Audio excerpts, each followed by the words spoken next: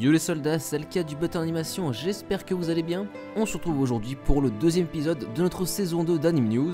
Alors je sais, je n'ai pas du tout respecté le planning que je m'étais imposé, mais c'est pas très grave, la vidéo est là maintenant. Cette fois-ci, beaucoup d'informations concernant l'annonce de films issus de séries d'animation très connues, et ces annonces vont faire plaisir à beaucoup d'entre vous. Avant de vous lancer directement dans les suites qui ont été annoncées, laissez-moi vous parler du fait que été invité par l'Akatsuki no Anime pour faire partie d'une émission le samedi 19 novembre sur Twitch à 21h. Cette émission va s'appeler Game Time et il y aura des quiz sur les animés ainsi que des petits jeux organisés comme ça sur Twitch et ça va être trop trop cool. Je compte donc vraiment sur votre présence. Vous aurez le lien du live évidemment en description.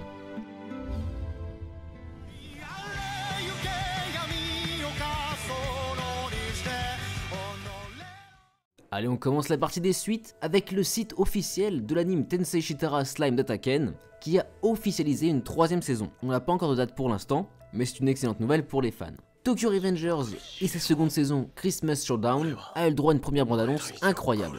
La suite est à retrouver sur Crunchyroll en janvier 2023. Pareil pour Vinland Saga qui va avoir le droit à une seconde saison, on le savait, mais maintenant on a la date exacte et on a une seconde bande-annonce. Ce sera donc sur nos écrans à partir du 9 janvier 2023. Et décidément, le mois de janvier va être chargé car Bungo Stray aura sa quatrième saison. Et enfin, on a eu un nouveau trailer pour Arrête de Nagatoro-san et sa seconde saison, qui sortira donc en janvier. Et il faut noter que le stade d'animation a changé pour cette suite. En 2023, on aura également la deuxième partie de la saison 4 de Zanemashi. On a d'ailleurs eu un petit teaser vidéo. La dernière partie de la saison finale de SNK s'est octroyée une nouvelle affiche promotionnelle. Elle est magnifique et on y voit Eren se faisant attaquer par le bâtiment d'exploration. Cette suite sortira donc en 2023. En janvier 2024, donc dans un an, on aura la cinquième saison de Kingdom qui sortira. Ça paraît loin, mais il me semble pas que ce soit une mauvaise information c'est bien 2024. Je ne sais pas si vous êtes encore hype par Jojo Bizarre Adventures et sa saison 6 Stone Ocean, mais la troisième partie de la série sortira donc sur Netflix le 1er décembre 2022 avec l'épisode 25 et ça devrait normalement clôturer l'arc Stone Ocean. Et sinon de manière un peu plus approximative, sortira en 2023 la seconde saison de Shin no Nakama Janai no Yushado Party, la troisième saison de Love Live Superstars, et également devrait sortir la troisième saison de Uma Musume Pretty Derby. Et enfin, on termine la catégorie des suites avec The Idolmaster Million Live, une nouvelle série Idolmaster qui sortira pour l'automne 2023. Voilà pour les suites, passons maintenant aux animés qui ont été annoncés.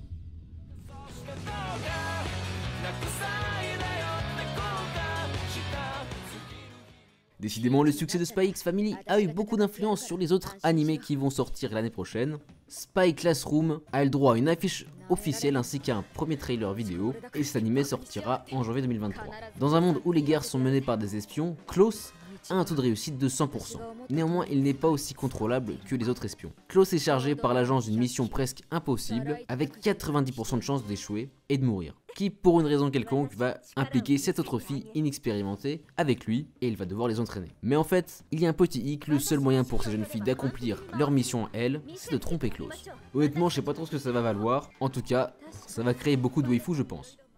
Et comme je disais, Spikes Family a eu de l'influence, car PA Works a annoncé la production de l'anime Buddy Daddies par le réalisateur de Fate Apocrypha.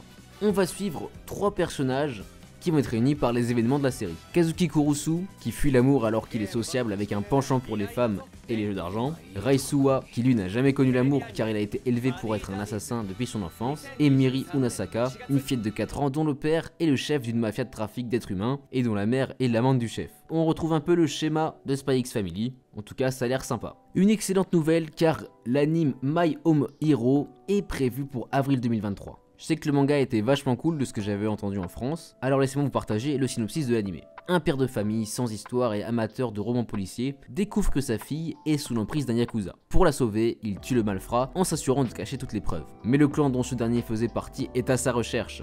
Dorénavant, le père va donc devoir prendre la responsabilité des funestes événements qui vont suivre et survivre pour protéger sa famille. Ça a l'air bien stylé, assez dramatique, et clairement je pense que ça doit être incroyable. En tout cas d'après ce qu'on m'a dit sur le manga et Lupin va avoir le droit à une nouvelle série spin-off dénommée Lupin 0. Ce sera une série de 6 épisodes qui va démarrer au Japon le 16 décembre 2022. Voilà pour les animés à retenir. Il y a eu bien évidemment plein d'autres annonces, mais je n'ai pas le temps de toutes les réunir dans cette vidéo. Je vous en reparlerai sûrement en temps voulu.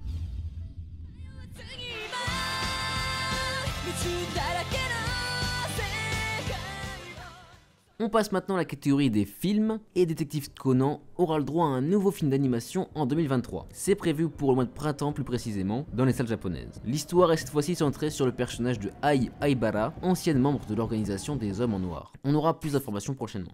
Aniplex a dévoilé la production d'un nouveau film d'animation Sword Art Online.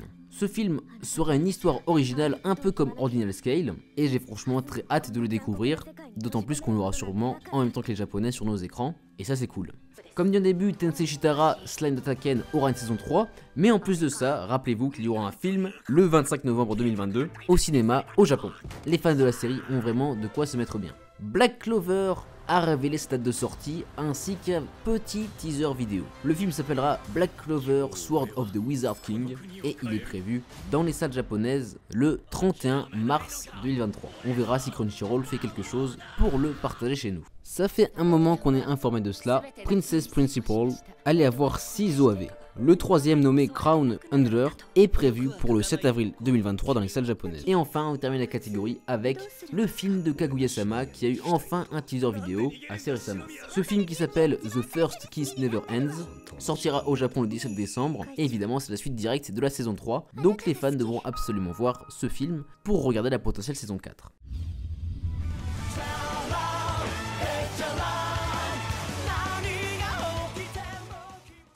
On passe maintenant à la catégorie jeux vidéo qui est assez légère. J'ai en effet seulement deux informations pour vous. Tout d'abord, Sword Art Online va avoir le droit à un nouveau jeu en 2023 qui va s'appeler Last Recollection, qui sera disponible sur PS5, PS4, Xbox de tout type et PC. Le jeu racontera sa propre version de l'arc Alicization War of Underworld, qui sera un peu différente de la série originale, c'est-à-dire que ce sera différent de l'anime et du light novel, à voir ce que ça va donner. Et également, One Piece Odyssey, le prochain jeu de la série culte, a annoncé l'intégration d'un mode souvenir, et on pourra notamment jouer les Mugiwara durant l'arc Enies Lobby. Personnellement, je trouve ça plutôt sympa, d'autant plus que j'ai cru comprendre que ce serait quelque chose d'annexe au scénario principal, plus du bonus.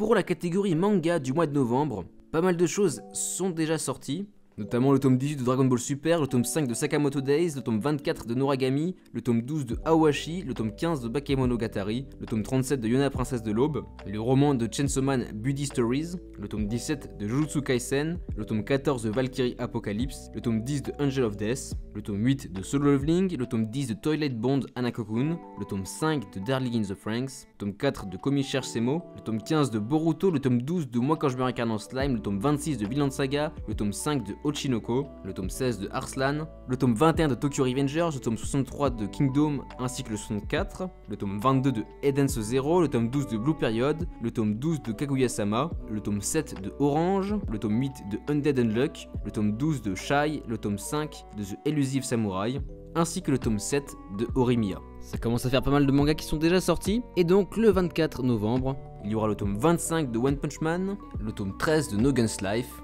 et le tome 10 de Danmachi Sword Oratoria. Et évidemment, il s'agit là d'une liste non exhaustive, que je vous laisse donc compléter vous-même sur le site nautiljon.com.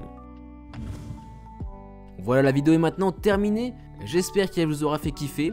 Restez bien à l'affût du coup du live qui va démarrer tout à l'heure à 21h sur la chaîne Twitch de l'Akatsuki no Anime. Je compte vraiment sur votre présence. Et pensez à répondre au sondage en description s'il vous plaît, c'est pour mes études, ce serait hyper sympa de votre part. Sur ce, je vous dis à très bientôt, c'était le cas du bâton d'animation. Bye